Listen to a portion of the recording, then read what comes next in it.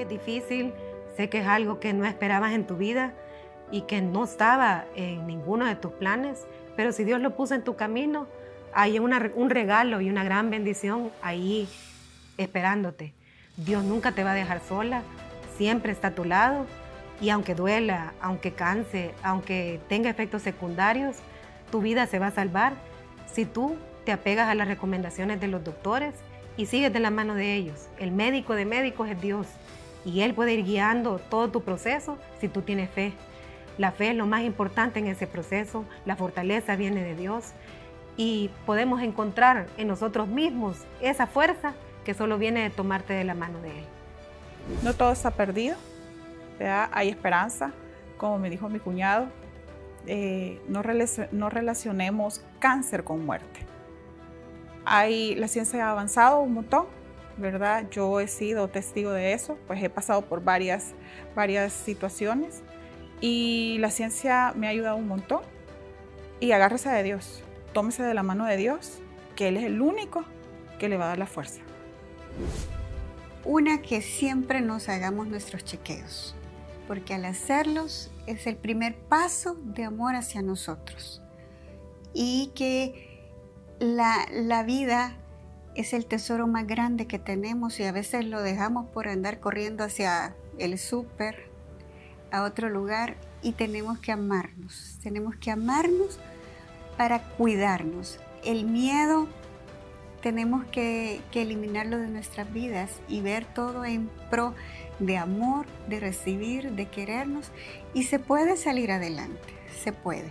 Si hay efectos secundarios con el tratamiento, sí, pero también si somos positivos, salimos adelante y vivimos una experiencia maravillosa que nos llena de amor y lo vemos ya como un regalo que hemos sido elegidas por, por el cáncer, podríamos decir, para transformarnos y ser mejor.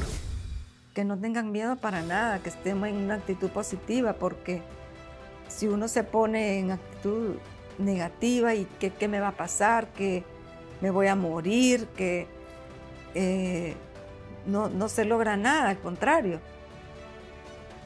Y saber que Dios está ahí y que Él nos va a sacar adelante. El Señor nunca nos ha puesto cosas que, no aguantemos. Todo lo hemos soportado, lo hemos superado y, yo aquí estoy, mire, después de 25 años sin imaginarme que iba a tener una quimio a los 66 años.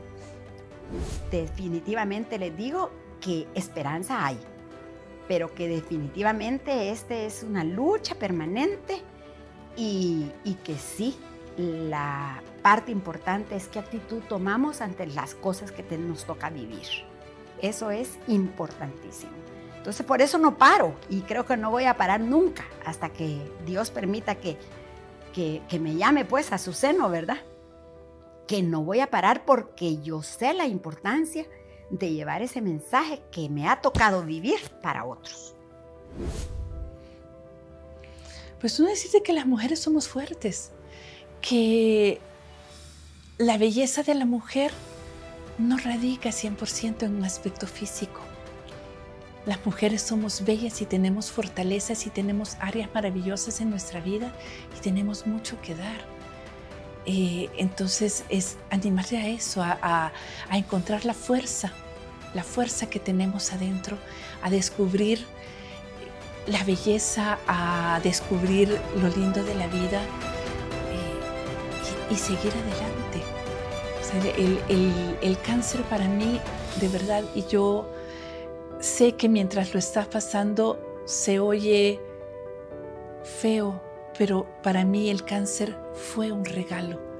Lo vivo como un regalo y agradezco haber pasado ese proceso porque no tendría la conciencia de lo que es estar vivo sin haber pasado por ahí.